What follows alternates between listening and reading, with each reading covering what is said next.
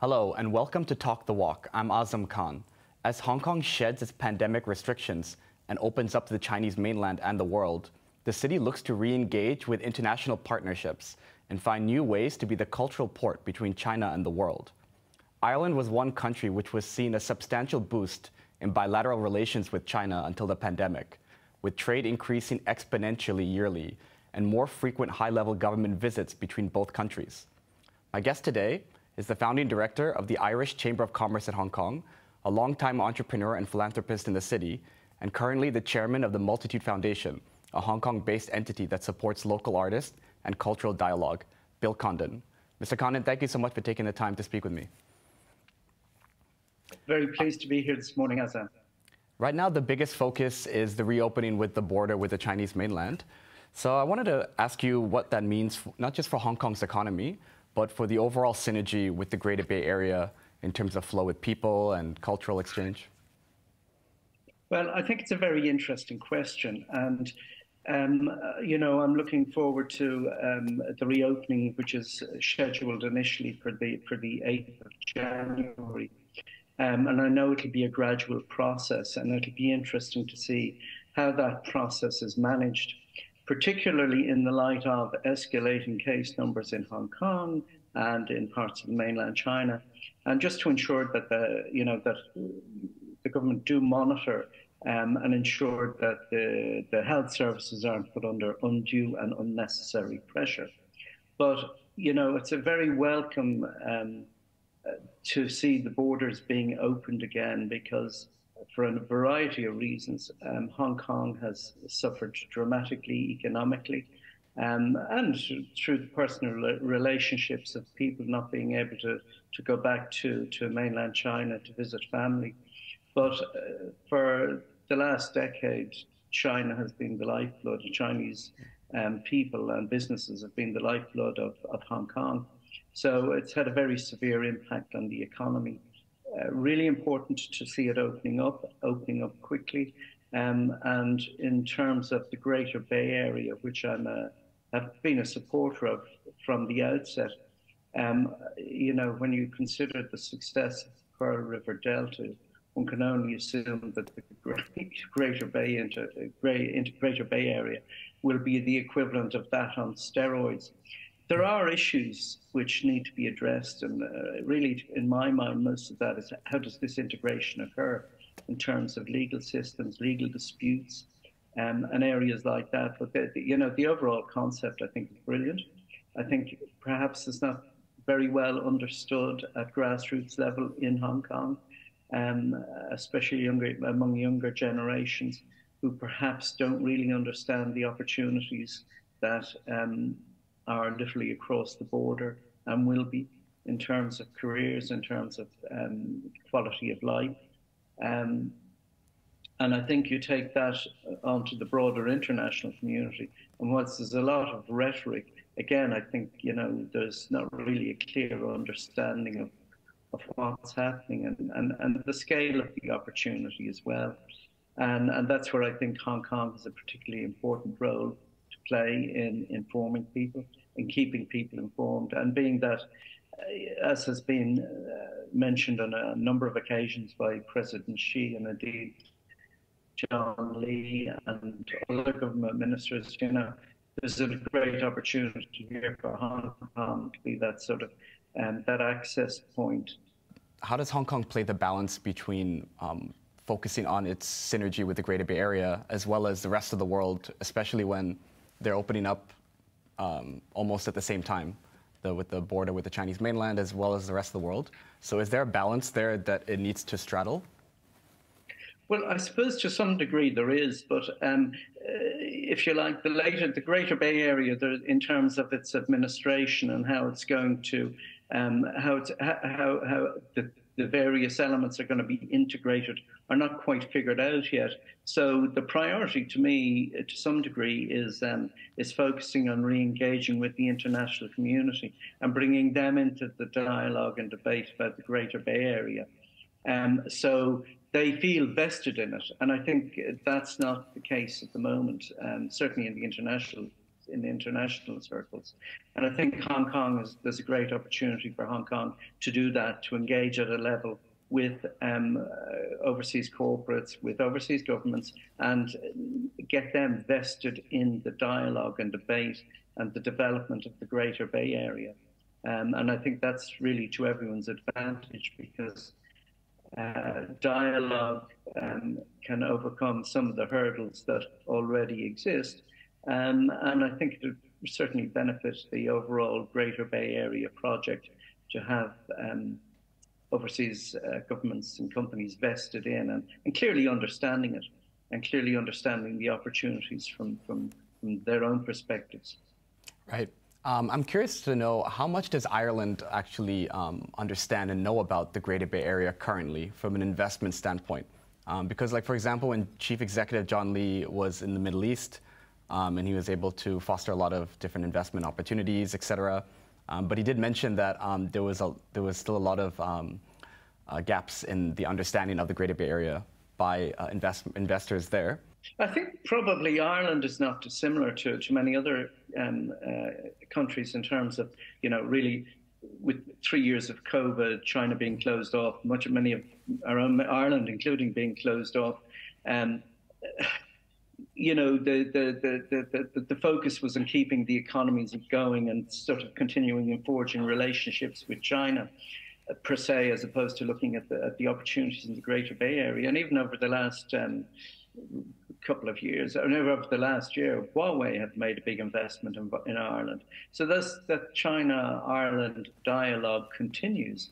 But from a personal perspective, I think a lot of people are talking about the Greater Bay Area, but you know, really they don't always understand the opportunities. So I think there's definitely um, an opportunity for Mr. Lee to to consider a visit to Ireland. Um, the Irish economy is booming at the moment. Um, a figure I, I, I, came across recently was, um, I'm just trying to find it here. Um, yeah, the Exchequer collected over 83 billion in, in, in taxes this year, which is a record. Wow. Um, bearing in mind the difficulties of COVID and everything else, and had, had a 5 billion um, euro uh, surplus.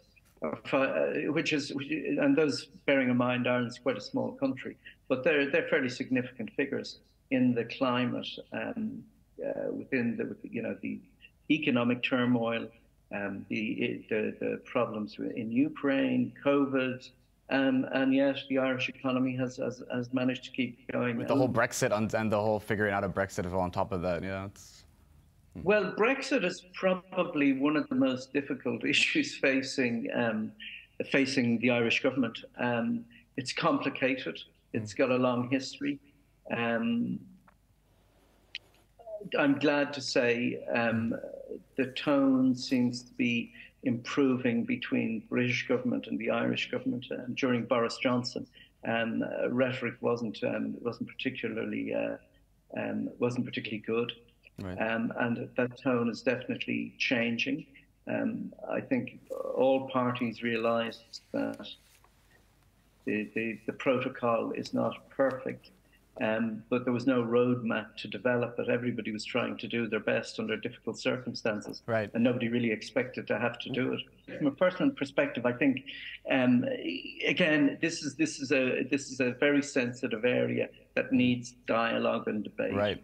And we, that dialogue, people have to be prepared to listen, have to be prepared to give ground in certain areas, and that goes to all sides.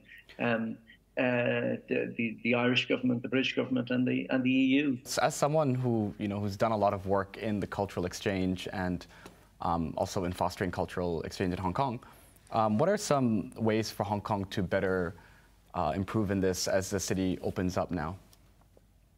Well, I think in terms of culture, I mean, it's obviously one of the, the, the, the keys, or it was one of the key pillars um, President Xi uh, referred to in his in, in, when, he, when he came here in July, and obviously subsequently John Lee has been promoting that as well. I think one of the difficulties in Hong Kong is that it's always been a market. Culture has played really very little, uh, has been given little, very little significance, which I find particularly sad. Um, and there is, whilst the dynamic and the rhetoric has changed dramatically since July, and culture and heritage is, top, is on top of everybody's agenda, I think there's often a lack of understanding. It's not simply about having a market here. Like, for example, in terms of art, Hong Kong was an art market. It wasn't a cultural place. It was a it was an art market. And for artists to survive here, it's it's it's it's extremely difficult. They don't have they don't have much support. They have very little exhibition space, um, living space, studio space, all really really um, expensive. So it's a, a difficult place for them to be. And what I've been, I suppose, saying for quite a while is that the focus, in order to have to create a genuine cultural hub in Hong Kong, we really need to focus on that grassroots level. The software, the, hard, the hardware is important. We've got M Plus, we've got Xiqu Theatre, and uh, other things coming online. But at the end of the day, it's about the creativity that's being generated in Hong Kong. And there's a lot of talent here, a lot of talent in the Greater Bay Area, a lot of talent in China.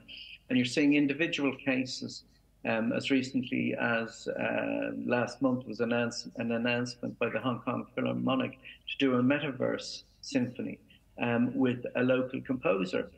Now, it's, it's, it's projects like this that will help promote Chinese culture, Hong Kong culture to the world. And that to me is very important. Um, when you've got such a rich and diverse cultural heritage going back five 5,000 years, but to be able to tell some of that story through contemporary um, through contemporary means and using Hong Kong as, as, as, as the vehicle, I think is brilliant. But at the end of the day, it's about supporting the creative talent um, as much as having the, um, the hardware there to do it. Right. I need to pause you right there while we step away for a quick break. Uh, don't go anywhere. We'll be back with Bill Condon after the break. Stay tuned.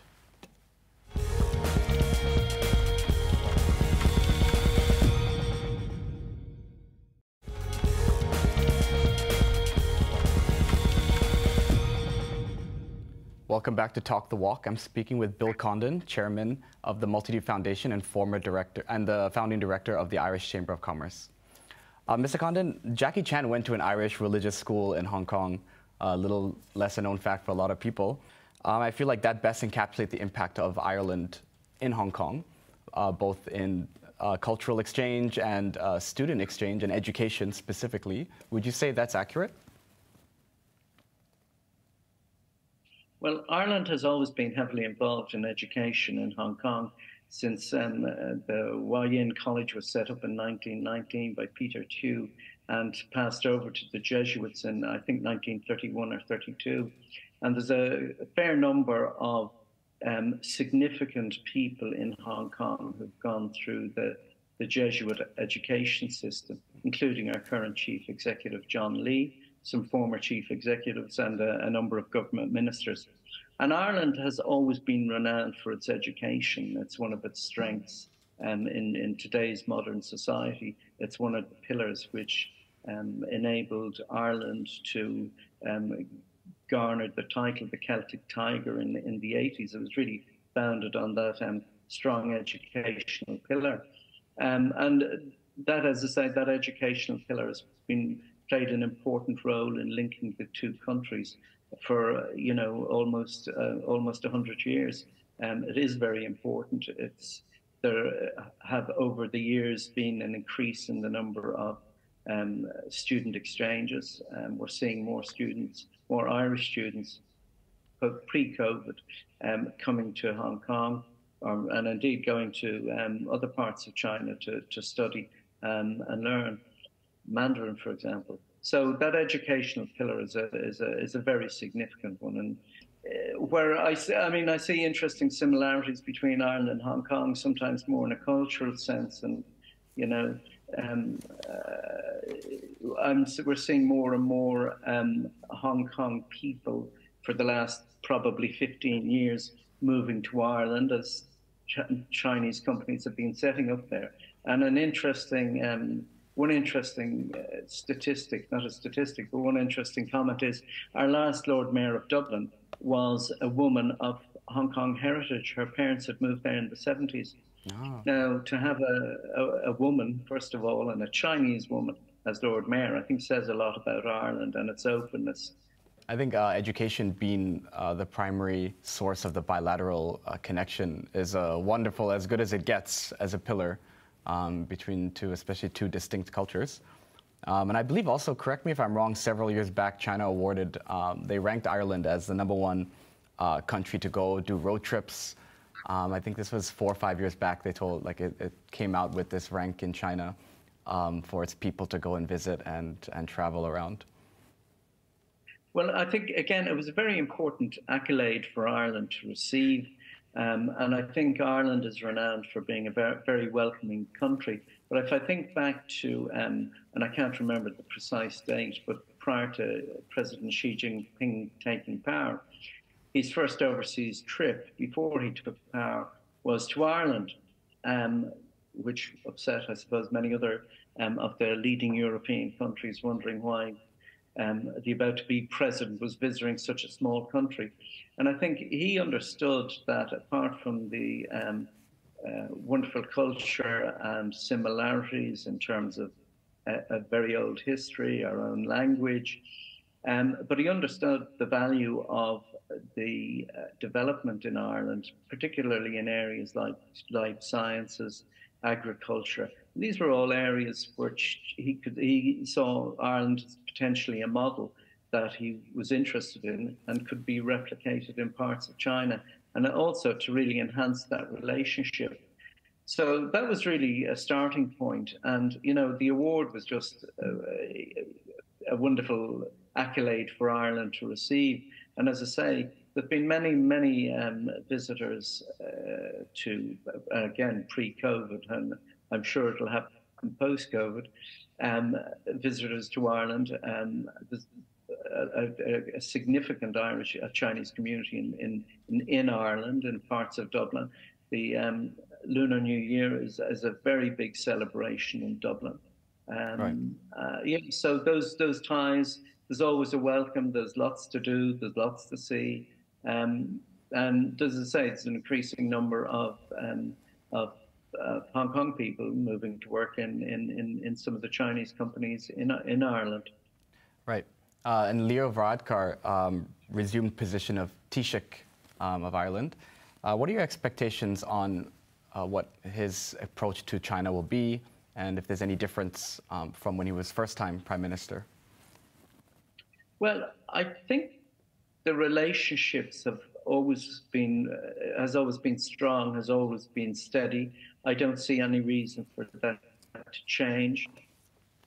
Um, you know, as I say, there are, there are increasing investments from Chinese companies in Ireland. The last one being Huawei, which was last year, which is a, a significant investment. Um, we'd like to see uh, more and more companies located in Ireland coming across to the Greater Bay Area, and I think that's something that um, both sides should be looking at more closely. But in terms of um, some of the strategic areas like life sciences, um, where Ireland is very, very strong. Uh, there's a, there's, there are a lot of opportunities for Chinese companies. Ireland is a wonderful place to set up, which is why so many um, multinationals have the European headquarters there.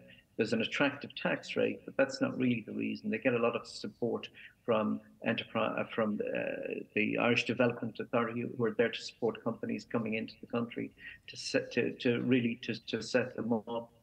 Um, um, and to make that setup as painless as possible. And one of the most, most important things is they've got access to a, a highly skilled labour force. And that again goes back to the, the high standard of education. And whilst a market of 7 million people in the Ireland of Ireland is not necessarily going to be that attractive to, to um, most Chinese companies, obviously the, the, the, it's, a, it's a stepping stone into the EU, right. of course, the UK and and further afield. Yeah, Ireland uh, being one of the smaller populations in the EU, but it's the fourth largest exporter to China from the bloc.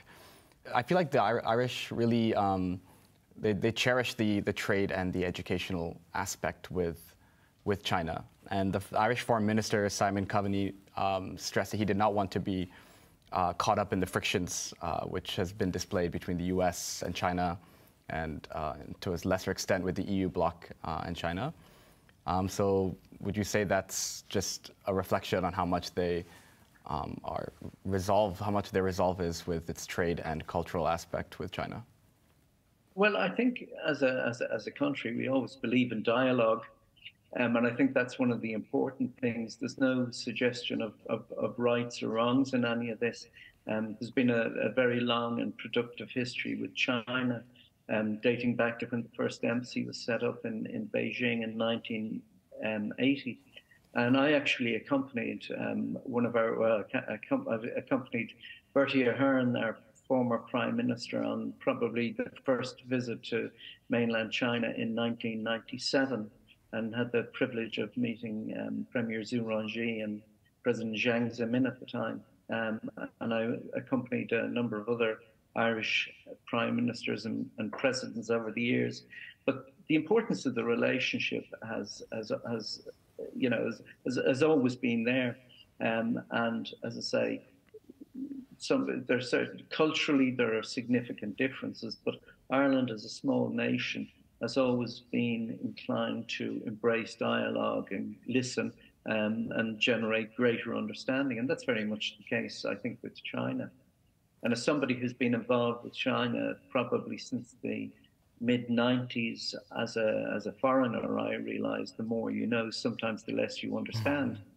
So, um, but that's that's the beauty of, of, of cultural differences. It what what makes us a, an interesting planet, and an interesting place to be. Right. But, as, um, uh, yeah, as, as someone who has been involved in China since you know the, in the 90s, like you said, the founding director of the Irish Chamber of Commerce back then. How would you compare, just real quick, how would you compare the the macro sense of um, between both regions um, from then to now and going forward? Well, it's, I suppose the staggering thing is this, this, this, this, the speed and the scale of the development in China, and you know, bringing, you know, what uh, the, the one 1.2 billion people out of the poverty zone, um, and a lot of people don't really understand, uh, don't understand the significance of that. There's still a lot of work to be done.